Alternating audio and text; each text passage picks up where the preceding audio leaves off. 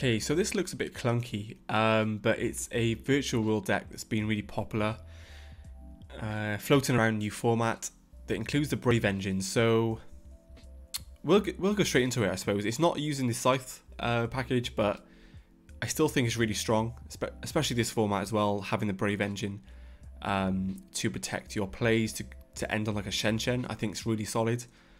Um, this deck will always come up. I think if people will play this deck. Um, quite a bit more now because of Master Duel, how, how popular it is on Master Duel. Um, so people probably pick it up in real life, try it. Obviously, VFD is not legal in, uh, in TCG. So yeah, we'll get straight into it. So play through Gamma. I think this card's really insane still. Say, for example, you don't see a Brave Engine um, and you have quite a few names in hand. If they say, for example, Ashdya Lulu, Chin Gamma is just really insane. So I still want to include this. I could cut it to make this card deck a little bit uh, less cards. But um, I think 44 is fine with the Gamma package. Uh, same goes for Ash. I think Ash is really strong as well in this deck. It can hit a lot of um, good spell cards, just like Fateful Adventure, as well as the fusion cards. Um, so yeah, that's it for the hand traps. You also play Ghost Ogre, but that's part of our e uh, uh, package as well. So as you can see in the side, we side two because I think it's really impactful hand trap this format, but we'll get over that in a bit. So uh, Lulu, uh, Lau Lau, Jiji, and Lili, these are your three ofs. And then for the two ofs, you just play Nyan Nyan. Um, not playing 2-2. I don't think you really need it this format. Uh, it's just another, it is another name, but I don't think it comes up as much anymore. Um, so yeah, for the Brave Engine, three Enchantress with the Griffin, of course, along with three Rite and the one Adventure plus Draco back. I think Draco back is an absolute staple in this engine. A lot of people are cutting it, but I think it just does so much, and it's so free. It's just such a free card to have. So uh, I think Dracoback's really important for this engine. And then after spells, obviously playing Qulong, um, along with the Kowloon, three E-Tele, and one Called by the Grave. There aren't too many Scythe outs.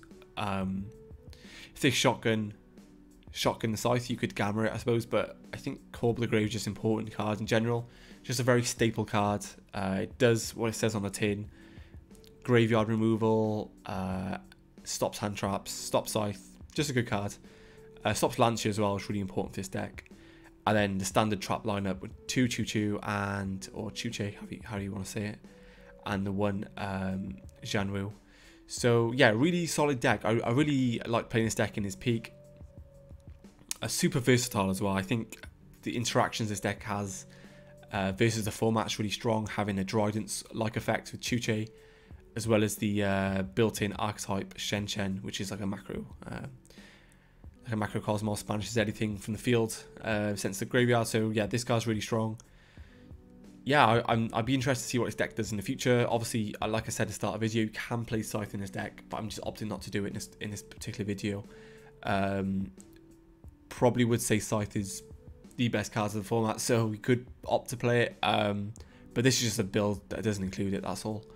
So for side deck, uh, two more Ghost Ogre. I think having these two in a side is really nice because there's so many interactions and choke points in certain decks that this card just is insane against, really impactful. Um, if you want some more uh, guidance on that, let me know. I'll do a separate video on hand traps, etc. So let me know in the comments. Same with Token Collector, it just hits Brave, um, hits Sword Soul. It's just a really solid card that I, I would like to play in the side deck for for any mid-range sort of deck um, that has space for hand traps, even combo decks that has space for hand traps. I like to consider Token Collector straight away this format. Uh, same goes for Lancea, it just does so much. Um, and yeah, it just, it just shuts off turns. And if you can shut off a turn and set up your Brave Engine along with a Shen Shen, plus a uh, Crystal Wing or even a Dragoon, it's just it just does so much. And then Cosmic because it's more uh, outs to skill drain, more outs to Scythe, and just a really solid card in general for back row decks because uh, there's so many back row decks that just come up now and then, so you want to have outs those. Same with the Twin Twister and Reboot. I think Reboot's just a really good card to just side in every time you go second. I feel like a lot of times in testing where I'd play a deck and they'd set like Imperm, for example, or like a Strike, and then even not against trap decks, I'm talking against like mid-range decks, and even against uh, Phantom Knights as well. You, you, they go um, Fog Blades, you chain this, and then you Zeus away the entire board. So there's there's uh, ways you can play this like going second naturally into any deck, and it's just insane. Uh, is it bannable? I don't know. Um, extra deck, I haven't changed too much in here. It the extra deck is pretty questionable. To, to be fair, you could play DP in this deck. Um, actually, no, you can't because you're locked into uh, level three or higher, so you cannot play DP in this deck. Um, so we'll go for Mud, uh, Muddy Mud Dragon.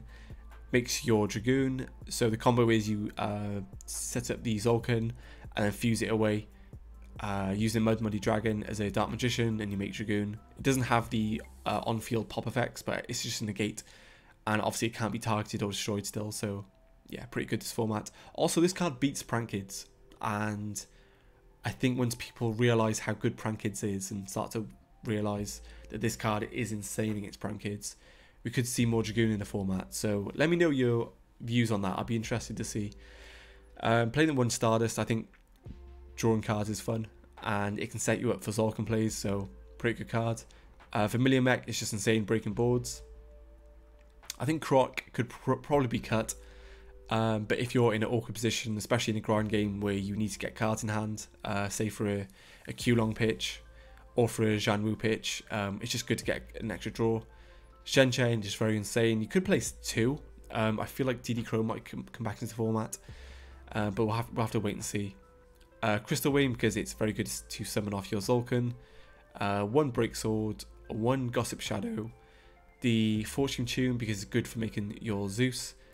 Uh, Utopia Beyond. So not many people play this, but I quite like it for just like closing out games.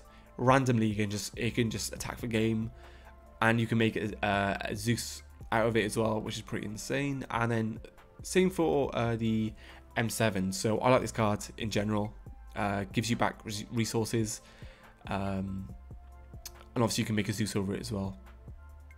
And then Zeus and Dragoon.